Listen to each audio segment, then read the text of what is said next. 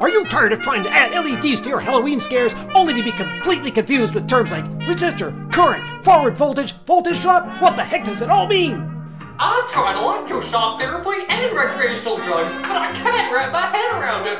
I'm at my wit's end. Have no fear, distressed haunter. Dan from Creepy Creations is here. Sweet niblets!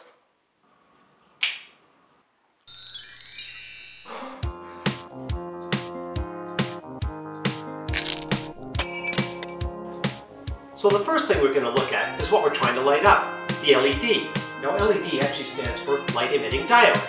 Well, I understand the light emitting part, but what the Heck. is a diode? Great question. This is a diode, along with its symbol as represented in an electronic or schematic diagram. A diode is an electronic component that allows current to only flow in one direction. In the case of a light-emitting diode, it works exactly the same way, except that it gives off light when current passes through it. We don't really care that it only passes current in one direction, but we do have to be aware of it, so we don't wire it up backwards, otherwise it won't light up. Got it? Absolutely. Great. So, now that we know a diode has a positive and a negative end, we have to figure out which one is which on the LED. Every LED has two leads. You can see this one, it has a long and a short one. If it is a different length, the long one is always the positive lead.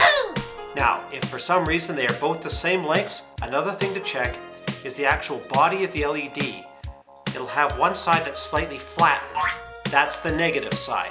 So you can almost always tell which is the positive and which is the negative side of the diode. That's important. Okay, so now we know which is the positive and which is the negative end.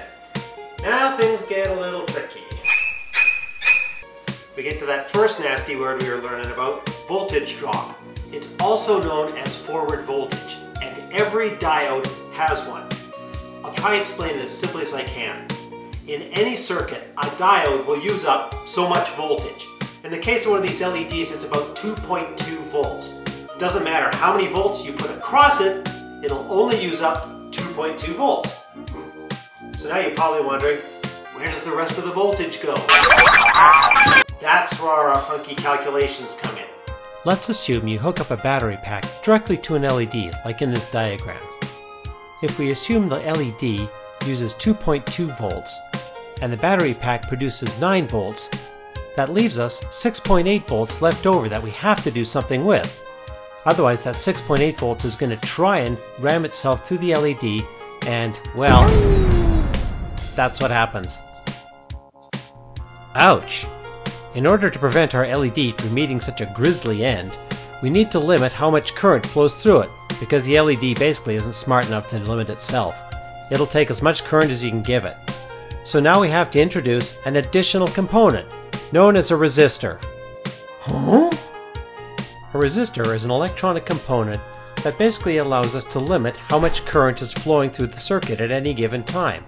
But the current that's flowing is also based on the voltages present, so now we have to get into some math. Remember, our LED has a forward voltage drop of 2.2 volts, and we'll assume we're using a 9 volt battery, so our source voltage is 9. So that leaves us that 6.8 volts that we have to do something with. But there's one other rating that that LED comes with that's critical to figuring out what we need to do here, and that's how much current it can use.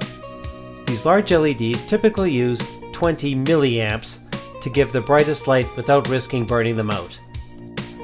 Since an amp is a measurement of current, 20 milliamps is 21 thousandths or 2 one hundredths of an amp.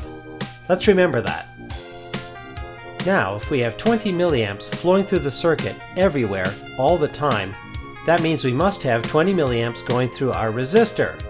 Now we're getting somewhere. Because what are we going to do with that 6.8 volts? We're going to let it drop across the resistor. So how do we know what value of resistor to use? As it turns out, it's actually pretty simple. A resistor is measured in ohms, but what the heck is an ohm? Actually, it turns out an ohm is voltage divided by current. And guess what? We know both of those, so we can figure out what value of resistor to get. Since the voltage we want to drop across the resistor is 6.8 volts, and the current we want running through the resistor is 0.02 amps, we simply divide 6.8 by 0.02 and we get 340. Well, I'll go ahead and order one of those 340 ohm resistors. What? They don't make 340 ohm resistors? Oh, son of a... Hey, it's okay.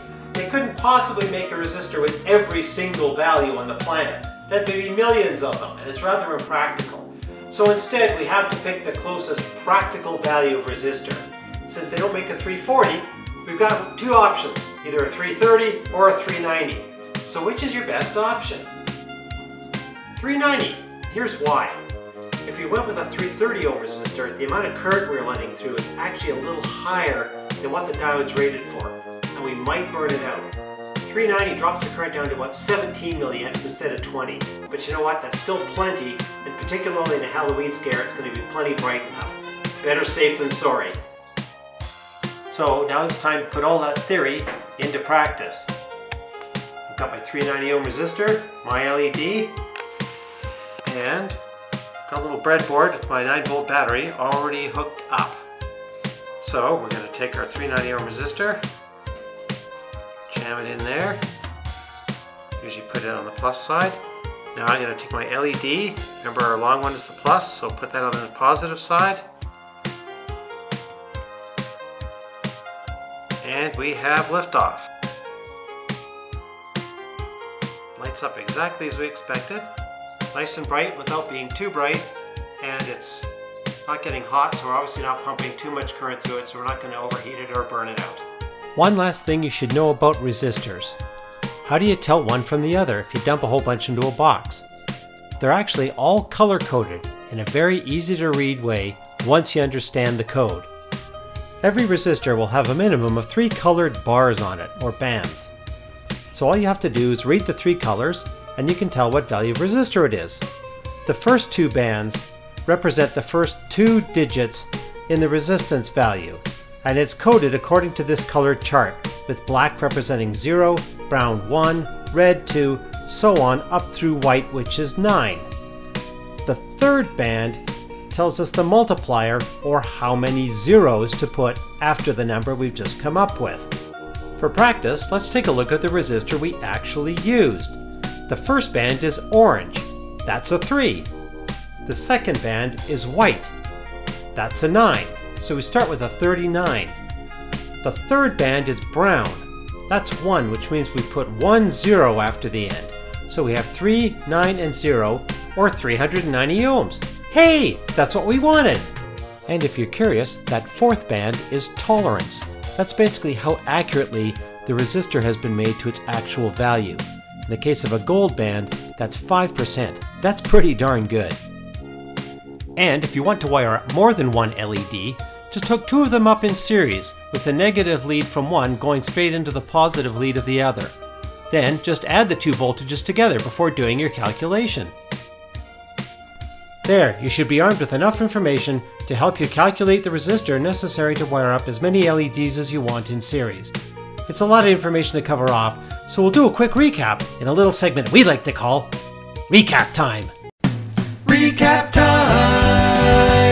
Let's review what we learned today. If you hook it up wrong, you're screwed and it'll blow up in your face. Remember, an LED only passes current in one direction, so you need to know which end is which. The long lead is positive. The current going through the circuit is the same, regardless of how many LEDs you use, typically 20 milliamps, but check your manufacturing specs. And you have to add all the forward voltages together before calculating your resistor value. And don't forget, when doing the calculation, the LED current is usually given in milliamps, but the formula only works in amps. So take your LED current and divide by 1000 first.